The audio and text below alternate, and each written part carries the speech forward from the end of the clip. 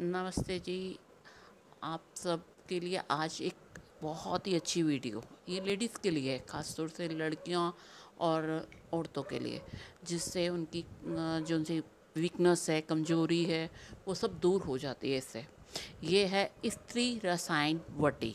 इसके अंदर जो है काफ़ी अच्छे चीज़ें हैं। अश्वगंधा जो हमारी हड्डियों को मज़बूत करता है। और स्त्री रसायन वड्डी का मतलब भी यही है कि स्त्रियों के लिए।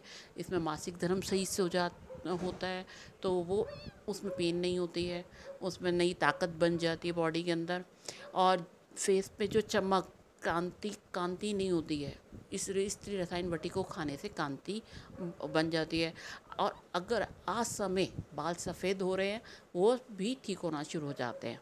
और आईब्रो के बाल भी जो आज समय सफ़ेद हो जाते हैं, वो भी ठीक हो जाते हैं। तो स्त्री रसायन बटी में जो अश्वगंधा है नाग केसर है शिवलिंग के बीज है ये बहुत अच्छे से काम करता है। शिवलिंग के बीज जो हैं, ये गर्भ को धारण करने के में मजबूती देते हैं और अश्वगंधा हड्डियों को मज़बूत करता है।